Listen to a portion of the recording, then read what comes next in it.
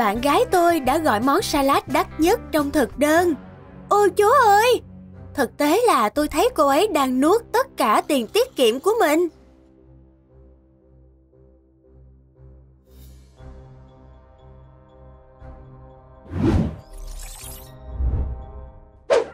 Em bé lông xù của ai nào? Ai là cục cưng dễ thương của mẹ nào? Ai là chàng trai bé bỏng ngoan ngoãn của mẹ?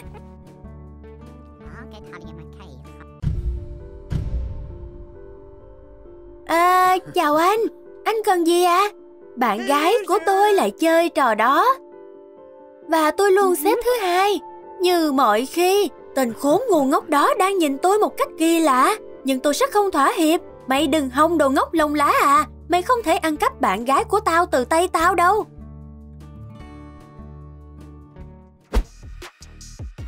Anh bạn trai chắc chắn đã làm rất tốt việc dọn dẹp căn hộ.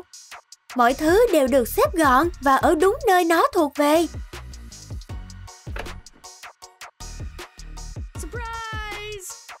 Nhưng người bạn gái lại thấy khác. Đây là một cơn ác mộng. Anh nói anh dọn dẹp rồi à? Giống như là chúng ta vừa bị xâm chiếm bởi một đội quân yêu tinh vậy. Em không thể tin tưởng giao cho anh bất cứ điều gì. Anh yêu, em tới phòng tập đây. Giỏ của em đâu ta? Được rồi, tập chăm chỉ nha em.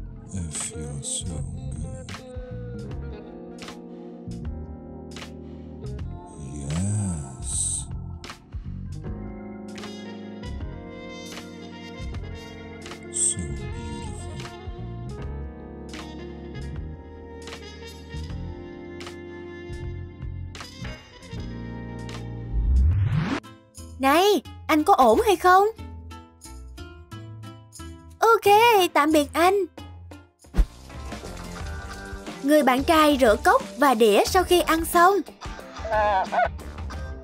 Wow, nhìn nó sạch sẽ chưa kìa. Tôi là thần của sự sạch sẽ. Cảm ơn, cảm ơn mọi người. Đây là cho tôi. Uh, thật bất ngờ. Tôi muốn cảm ơn học viện, cha mẹ, con chó của tôi và nhà trị liệu của tôi. Tôi không thể làm điều đó mà không có các bạn. Cảm ơn nha, cảm ơn rất nhiều. Đây thật là một vinh dự. Cái gì? Bạn trai tôi lại nghĩ anh ấy xứng đáng nhận giải Oscar vì anh ấy đã rửa một chiếc cốc à?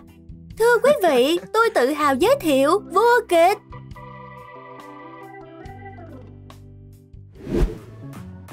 Bây giờ anh ấy đã sẵn sàng cho một cuộc hẹn. Tại sao phải cạo râu? Đàn ông đích thực rất hợp để râu Mình thật đẹp trai Nhưng cô bạn lại nghĩ khác Y như một con quái vật gai góc anh ta là một cây xương rồng dây động. Làm ơn đừng đến gần gò má mỏng manh của em. Em sợ anh quá rồi. Không có gì sai khi chụp một bức ảnh tự sướng dễ thương.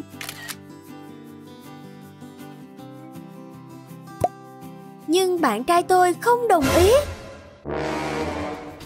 Này, bức ảnh này quá khiêu gợi. Em sẽ quyến rũ tất cả những người theo dõi mất. Xóa ngay đi. Không bao giờ tải lên bất cứ thứ gì như vậy nữa đâu nha. Anh yêu, em sẽ đi làm đẹp. Em ra ngoài một chút nha. Anh yêu, em về rồi nè. Anh nghĩ sao? Trông có đẹp hay không? Chàng trai tội nghiệp Anh không nhận ra bất cứ điều gì khác biệt. Bây giờ anh ấy sẽ phải đoán.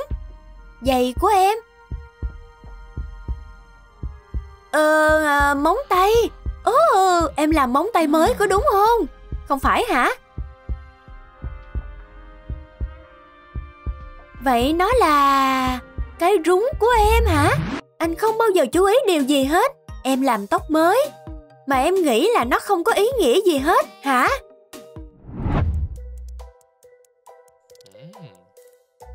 Anh yêu, anh nghe em nói không?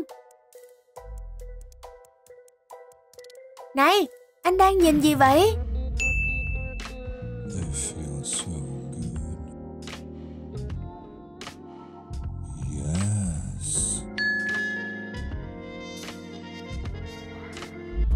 Được rồi, em biết rồi. Và em thấy cách anh nhìn cô ấy. Wow, anh thật là đồ chơi bời. Rất nhiều anh chàng có nghi thức kỳ lạ này. Ngay sau khi ăn xong một quả táo, anh đột nhiên biến thành một cầu thủ bóng rổ tài năng.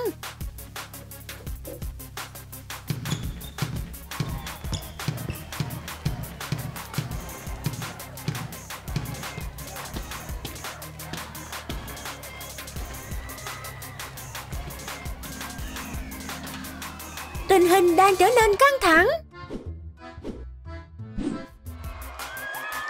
Cơ hội cuối cùng. Và anh ấy đã làm được. Vào lưới. Em yêu, Anh làm bánh mì Pháp kẹp cho em nè.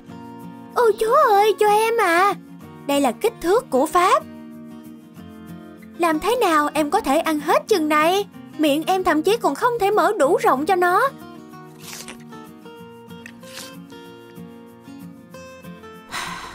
Anh biết gì không anh yêu Em no rồi Anh có thể ăn hết chiếc bánh sandwich khổng lồ này Em chắc là em không muốn nữa không? Được rồi, các chàng trai có nhận thức riêng về kích cỡ phần ăn. Anh yêu, em thích ngủ bên cạnh anh. Anh thật ấm áp. Bạn trai của tôi dùng tốt hơn cả máy sưởi. Cô ấy chỉ cho bạn trai xem bức ảnh của một em bé dễ thương. Nhìn nè, nó giống như một con búp bê nhỏ. Nhưng người bạn trai nghĩ rằng cô ấy đang đưa ra một gợi ý to đùng. Cả một đám trẻ la hét Không ngủ cả tuần Tả bẩn thỉu Và không còn bóng đá với bạn. Ừ không Tôi còn quá trẻ để kết thúc cuộc đời độc thân. Này anh yêu à Mọi thứ ổn chứ? À đó chỉ là trí tưởng tượng của tôi một cơn gió mùa xuân nhẹ nâng váy tôi lên Tôi cá là nó trông dễ thương và lãng mạn Xin chào cô Monroe Trong thực tế, bạn trông giống như bị cuốn vào một cơn lốc xoáy đưa bạn đến xứ Oz. Xin chào Dorothy, thôi nào phải đưa em đi chỉnh trang lại. Các cô gái ở phòng tập thể dục luôn cho rằng các chàng trai cứ nhìn chăm chăm vào họ. Trông anh ta thật thô lỗ, đây không phải rạp chiếu phim các chàng trai. Không có gì để nhìn ở đây, đi thôi các cậu. Họ trông thật kỳ quái. Thôi kệ, cậu đang nói gì vậy? Cậu cần đổi bộ chế hòa khí. Anh yêu, danh sách mua sắm cho ngày hôm nay đây. Anh có thể xử lý nó không? Em hy vọng không như lần trước. Cảm ơn anh. Chúc anh mua sắm vui vẻ. Ngoa. Được rồi, cô ấy có ý gì? Đây không phải một danh sách mà là một câu đố logic toán học. Tôi nghĩ rằng tôi có thể làm rõ. Em yêu, anh về nè. Đây là những gì mà em cần Một quả táo và sữa chua Cái này là cái gì? Cho em xem danh sách Nhìn kìa, nó nói ngay đây Sữa chua táo Em phải làm gì với cái này đây? Những thành phần này cần phải được cùng nhau Giống như Bonnie và Clyde Tốt thôi, cho qua đi anh không giúp được gì hết á Bạn trai của tôi đi chơi với bạn của anh ấy Tất nhiên, bây giờ anh ấy không nhấc máy Tôi có thể tưởng tượng những gì anh ấy sắp làm. Anh ấy chắc đang tán tỉnh ai đó trong một bữa tiệc điên rồ. Và anh ấy cố ý không nhấc máy. Ngay khi anh ta trả lời, tôi sẽ cho anh ta một bài học. Xin chào em yêu.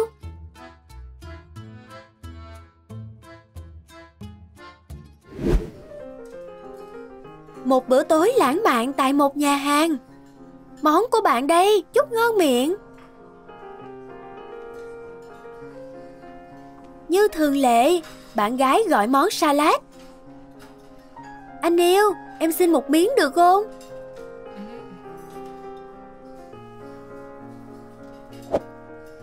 Không, cô ấy ăn hết thức ăn của tôi. Sao cổ không tự gọi món chứ? Sao cứ phải lấy đồ ăn của tôi? Giờ tôi phải ăn cái gì đây? Cảm ơn em vì đã phá hỏng bữa tối của anh.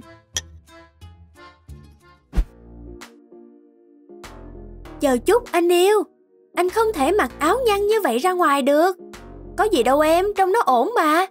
Anh nhìn mà xem, nó nhăn như thế kia kìa. Anh kiếm nó đâu ra vậy?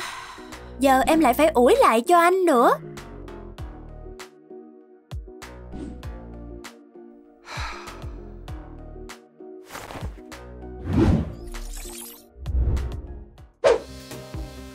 Bạn có thích nội dung của chúng tôi về góc nhìn của các chàng trai và các cô nàng về thế giới không? Hãy bình luận bên dưới về nội dung mà bạn thích nhất nha. Và các bạn ơi, hãy theo dõi kênh, thích video này và nhấn chuông thông báo để không bỏ lỡ những video với nhộn mới đến từ Woohoo.